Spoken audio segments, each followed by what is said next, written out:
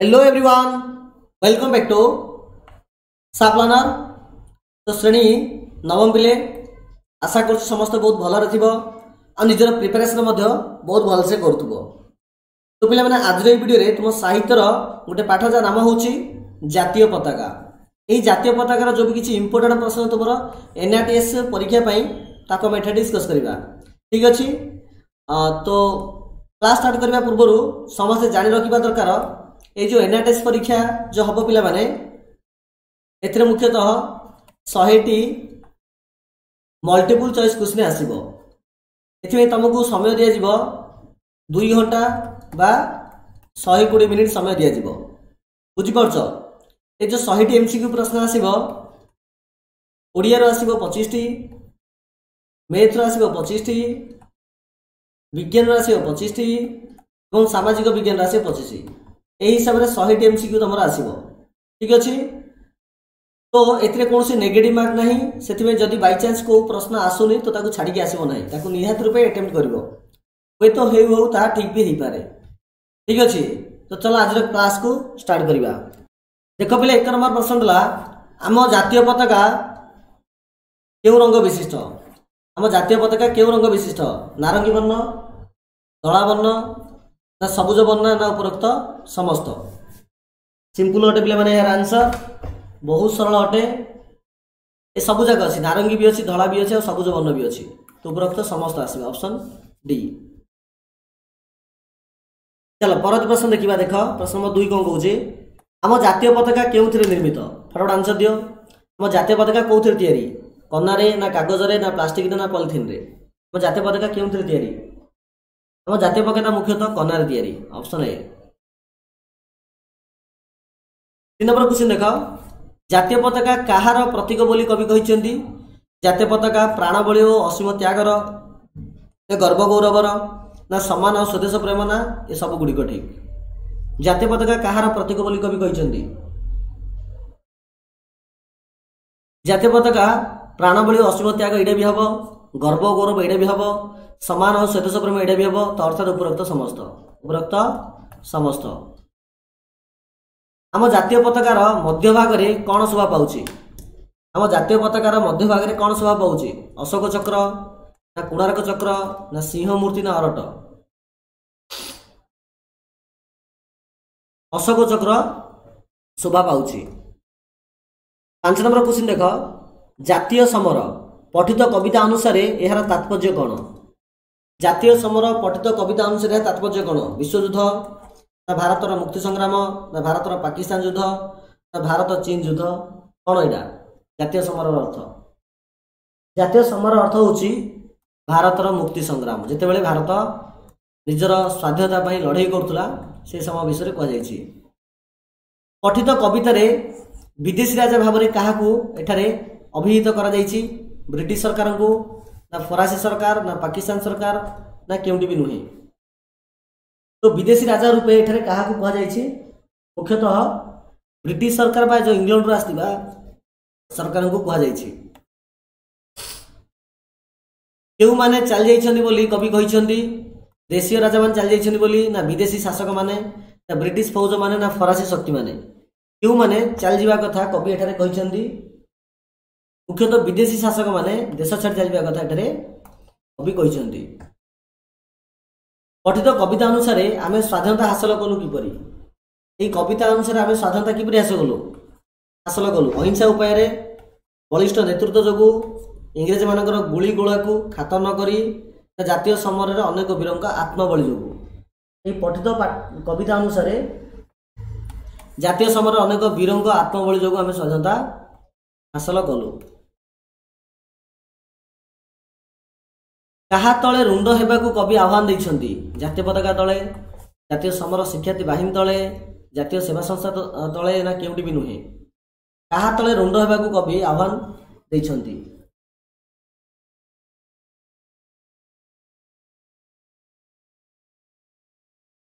Option A ପିଲାମାନେ ଜାତୀୟ ପତାକା।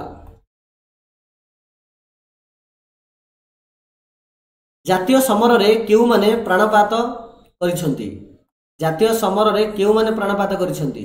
ଶତ ଶତ ବୀର ଶତ ଶତ ଛାତ୍ରଛାତ୍ରୀ ଶତ ଶତ ନରନାରୀ ଶତ ଶତ ନେତୃମଣ୍ଡଳୀ। ଜାତୀୟ ସମରରେ କେଉଁମାନେ ପ୍ରାଣପାତ କରିଛନ୍ତି? ଆନ୍ସର ପିଲାମାନେ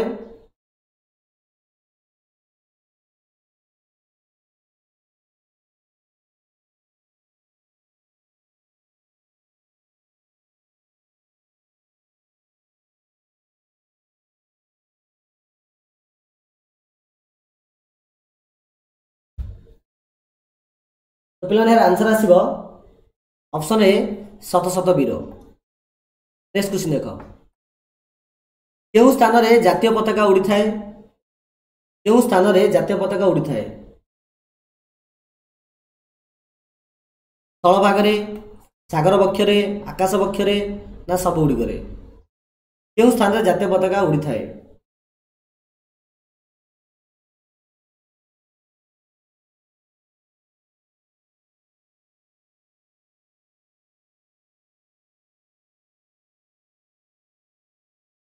କେତେ ହବ? କୋଉଟା ହବ ପିଲାମାନେ। ଅପସନ୍ ଡି ପିଲାମାନେ ସବୁ ଗୁଡ଼ିକ ଠିକ। ପରବର୍ତ୍ତୀ ପ୍ରଶ୍ନ ଦେଖ ପିଲାମାନେ ଜାତୀୟ ପତାକାକୁ ପଦାତିକ ସେନାମାନେ କେଉଁଠାରେ ଉଡ଼ାନ୍ତି? ଜାତୀୟ ପତାକାକୁ ପଦାତିକ ସେନାମାନେ କେଉଁଠାରେ ଉଡ଼ାନ୍ତି? ସ୍ଥଳ ଭାଗରେ ଜଳ ଭାଗରେ ଆକାଶ ମାର୍ଗରେ ନା ସବୁ ଗୁଡ଼ିକ ଠିକ? ଜାତୀୟ ପତାକାକୁ ପଦାତିକ ସେନାମାନେ କେଉଁଠାରେ ଉଡ଼ାନ୍ତି? ସ୍ଥଳ ଭାଗରେ ମୁଖ୍ୟତଃ ଉଡ଼ାଇଥାନ୍ତି। ঠিক ଅଛି ଦେଖ ଜାତୀୟ ପତାକାକୁ ଜଳବାହିନୀ ସୈନ୍ୟମାନେ କେଉଁଠାରେ ଉଡ଼ାନ୍ତି? ସାଗର ବକ୍ଷରେ ନା ସ୍ଥଳ ଭାଗରେ ନା ଆକାଶ ମାର୍ଗରେ ନା କେଉଁଠାରେ ନୁହେଁ? ଯେହେତୁ ଜଳବାହିନୀ ତ ସେମାନେ ଜଳରେ ରହିବେ ଅର୍ଥାତ୍ ସମୁଦ୍ର। ସମୁଦ୍ରର ଅନ୍ୟ ନାଁ ହେଉଛି ସାଗର। ତ ଅପସନ୍ ଏ ସାଗର ବକ୍ଷରେ ବୋଲି ଆନ୍ସର ଆସିବ। ଜାତୀୟ ପତାକାକୁ ଆକାଶ ବାହିନୀର ସୈନ୍ୟମାନେ କେଉଁଠାରେ ଉଡ଼େଇଥାନ୍ତି?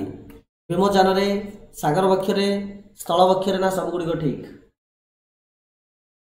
ଯେହେତୁ ଆକାଶ ବାହିନୀ କଥା କୁହାଯାଇଛି ତ ଆକାଶର ପ୍ରତିଶବ୍ଦ ହେଉଛି ବ୍ୟୋମ ତ ବ୍ୟୋମ ଯାନରେ ଆସିବ। ଅପସନ୍ ଏ ଭାରତର ଟେକ ରଖିବାକୁ ଆମେ କରିବୁଟି ପ୍ରାଣପାତ। ଭାରତର ଟେକ ରଖିବାକୁ ଆମେ କରିବୁଟି ପ୍ରାଣପାତ। ଏଠାରେ ପ୍ରାଣପାତ କରିବାର ଠିକ ଅର୍ଥଟି ବାଛି ଲେଖ। ଅନ୍ୟର ଜୀବନ ନେବା ଅନ୍ୟ ପ୍ରତି ହିଂସା କରିବା ଦେଶ ପାଇଁ ଜୀବନ ଦେବା ବାଧା ବିପଦର ସମ୍ମୁଖୀନ ହେବା। ଭାରତର ଟେକ ରଖିବାକୁ ଆମେ କରିବୁଟି ପ୍ରାଣପାତ। ତ ଏଠାରେ ପ୍ରାଣପାତର ଅର୍ଥ କ'ଣ? ଆମେ ବୁଝିବା। ପ୍ରାଣପାତର ଅର୍ଥ ହେଉଛି ଦେଶ ପାଇଁ ଜୀବନ ଦେବା। ତାକୁ ପ୍ରାଣପାତ ବୋଲି କୁହାଯାଇଛି। ନେକ୍ସଟ ପ୍ରଶ୍ନ ଆସିଲା କବି ଜାତୀୟ ପତାକାର ମହତ୍ଵକୁ କିପରି ଭାବରେ ବର୍ଣ୍ଣନା କରିଛନ୍ତି? କବି ଜାତୀୟ ପତାକାର ମହତ୍ଵକୁ କିପରି ବର୍ଣ୍ଣନା କରିଛନ୍ତି? ସ୍ୱାଧୀନତାର ସ୍ମାରକୀ ଭାବରେ ଜାତିର ଅମୂଲ୍ୟ ସମ୍ପଦ ହିସାବରେ ଜାତୀୟ ବୈରକ ହିସାବରେ ନା ସବୁ ଉତ୍ତର ଗୁଡ଼ିକ ଠିକ୍? କବି ଜାତୀୟ ପତାକାର ମହତ୍ଵକୁ ଏଠାରେ ସ୍ୱାଧୀନତାର ସ୍ମାରକୀ ଜାତିର ଅମୂଲ୍ୟ ସମ୍ପଦ ଜାତୀୟ ବୈରକ ସବୁ ଗୁଡ଼ିକ ଠିକ୍ ହବ। ଅପସନ୍ ଡି ଆସିବ ଆନ୍ସର ପଠିତ କବିତା ଅନୁସାରେ କିଏ ଆମ ଜାତିର ଟେକ ରକ୍ଷା କରିବ? ପଠିତ କବିତା ଅନୁସାରେ କିଏ ଆମ ଜାତିର ଟେକ ରକ୍ଷା କରିବ? ଜାତୀୟ ଭାଷା ନା ଆମର ଧର୍ମଧାରଣା ନା ଦେବାଦେବୀ ମାନେ ନା ଜାତୀୟ ପତାକା? ପଠିତ କବିତା ଅନୁସାରେ କିଏ ଆମ ଜାତିର ଟେକ ରକ୍ଷା କରିବ?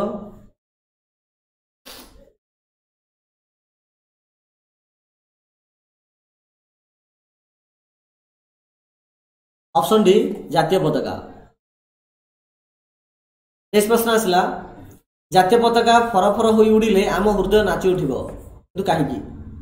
ଏହା ଆମର ଗର୍ବ ଗୌରବର ପ୍ରତୀକ ବୋଲି ଏହାର ରଙ୍ଗ ଗୁଡ଼ିକ ଧାର୍ମିକ ଭାବନା ସହ ଜଡ଼ିତ ବୋଲି ଏଥିରେ ଅଶୋକ ଚକ୍ର ସ୍ଥାନିତ ହୋଇଥିବା ଯୋଗୁଁ ନା ଉପରୋକ୍ତ ସବୁଗୁଡ଼ିକ। ଏହା ଆମର ଗର୍ବ ଗୌରବର ପ୍ରତୀକ ବୋଲି ଅପସନ୍ ଏ ଏହା ଆମର ଗର୍ବ ଗୌରବର ପ୍ରତୀକ ବୋଲି। ନେକ୍ସଟ ଆସିଲା। ଏହି କବିତାରୁ କବିଙ୍କର କି ପ୍ରକାର ଭାବ ପ୍ରକଟିତ ହେଉଛି? ଜାତୀୟତା ଜାତୀୟତାବାଦୀ ଭାବଧାରା ରୋମାଣ୍ଟିକ ଭାବଧାରା ପ୍ରଗତିବାଦୀ ଭାବଧାରା ନା ସାମ୍ୟବାଦୀ ଭାବଧାରା? କୋଉ କୋଉ ଭାବଧାରା ଏଠାରେ ପ୍ରକଟିତ ହେଉଛି?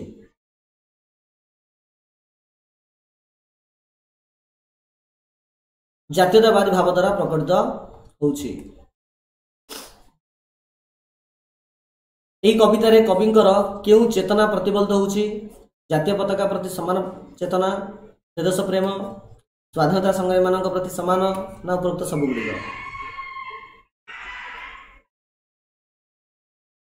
ଆନ୍ସର ପିଲାମାନେ। ଏ ସବୁ ଗୁଡ଼ିକ ହବ। ଉପରୋକ୍ତ ସବୁ ଗୁଡ଼ିକ ବାଟ କାଟିଯିବ ସମୀର ସ୍ରୋତେ। ବାଟ କାଟିଯିବ ସମୀର ସ୍ରୋତେ। ଏହା କୁହାଯିବାର କାରଣ କ'ଣ? ପବନର ବେଗ ଏହାକୁ ପ୍ରତିହତ କରିପାରିବ ନାହିଁ ବୋଲି ପବନର ବେଗ ଏହାକୁ ଫରଫର କରି ଉଡ଼ାଇବ ବୋଲି ନା ପବନର ବେଗ ଏହାର ଗୁରୁତ୍ୱ ବୃଦ୍ଧି କରିବ ବୋଲି ନା ଉପରୋକ୍ତ ସବୁ ଗୁଡ଼ିକ ବାଟ କାଟିଯିବ ସମୀର ସ୍ରୋତେ। ଏହା କୁହାଯିବାର କାରଣ କ'ଣ?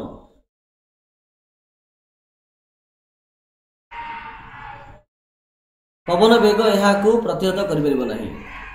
Option A.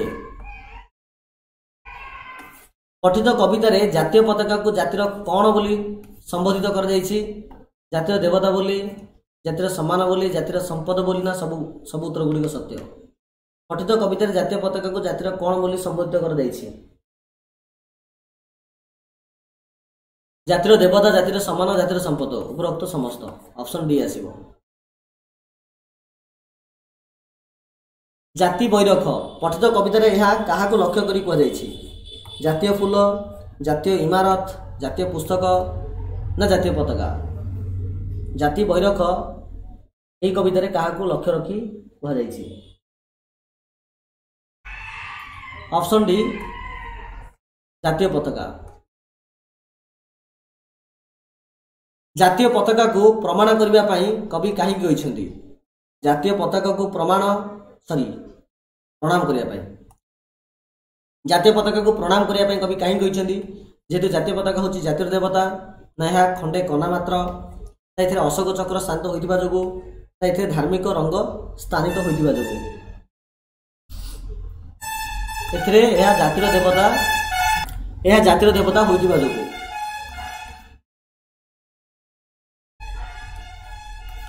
ଆମର ଏହି ଜାତୀୟ ପତାକା କେବେ ସାମ୍ବିଧାନିକ ସ୍ୱୀକୃତି ଲାଭ କରିଛି?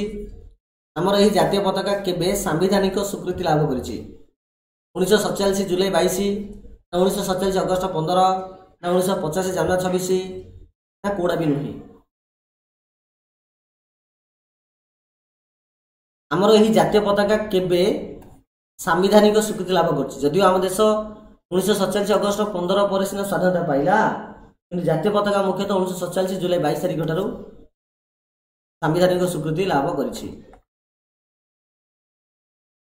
ଏମାନଙ୍କ ମଧ୍ୟରୁ ପତାକା ଶବ୍ଦର ପ୍ରତିଶବ୍ଦ କୋଉଟା ଅଟେ?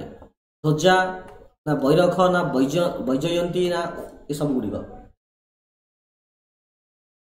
ଏସବୁ ଗୁଡ଼ିକ ତ ପତାକାର ଶବ୍ଦ ଧ୍ୱଜା ବୈରଖ ବୈଜୟନ୍ତୀ ସବୁ ଯାକ ହବ। ଏମାନଙ୍କ ମଧ୍ୟରୁ କେଉଁଠି ଏକ ଯୁଗ୍ମ ଶବ୍ଦ ନୁହେଁ। କୋଉଟା ଯୁଗ୍ମ ଶବ୍ଦ ନୁହେଁ। ନଈ ବଢ଼ି ଭଲମନ୍ଦ ବିପଦ ଆପଦ ଦୁଃଖ ସୁଖ କୋଉଟା ଗୋଟେ ଯୁଗ୍ମ ଶବ୍ଦ ନୁହେଁ। ନଈ ବଟା ଏକ ଯୁଗ୍ମ ଶବ୍ଦ ନୁହେଁ। ଭଲ ମନ୍ଦ ବିପଦ ଆପଦ ଦୁଃଖ ସୁଖ ଗୋଟେ ଯୁଗ୍ମ ଯୁଗ୍ମ ଶବ୍ଦ ଅଟେ। ନିମ୍ନୋକ୍ତ ଶବ୍ଦମାନଙ୍କ ମଧ୍ୟରୁ କେଉଁଟି ଧ୍ୱନ୍ୟାତ୍ମକ ଶବ୍ଦ ନୁହେଁ? ଗରଗର ଛଳଛଳ ଝରଝର ପାଠ୍ୟପୁସ୍ତକ। ଧ୍ୱନ୍ୟାତ୍ମକ ଶବ୍ଦ ନୁହେଁ ଆ ଭିତରୁ କୋଉଟା? ପାଠ୍ୟପୁସ୍ତକ ଏଇଟା ଧ୍ୱନ୍ୟାତ୍ମକ ଶବ୍ଦ ନୁହେଁ। ଗରଗର ର ର ଝରଝର ଛଳଛଳ ଏଇଟା ଧ୍ୱନ୍ୟାତ୍ମକ ଶବ୍ଦ। କିନ୍ତୁ ପାଠ୍ୟପୁସ୍ତକ ହଉନି। ଏହି କବିତାରେ କବି ପଦ୍ୟ ରୂପରେ ବ୍ୟବହାର କରିଥିବା ଶବ୍ଦ କୋଉଡ଼ା ସୈନ ନା ସୁଏ ନା ଶୁଭିବ ନା ସବୁଗୁଡ଼ିକ ଅପସନ୍ ଡି ସବୁଗୁଡ଼ିକ ପଠିତ କବିତାରେ ବ୍ୟବହୃତ ବ୍ୟୋମ ଶବ୍ଦର ପ୍ରଶବ୍ଦ କ'ଣ ହେବ ବ୍ୟୋମ ବ୍ୟୋମ ଶବ୍ଦର ପ୍ରତିଶବ୍ଦ କ'ଣ ହେବ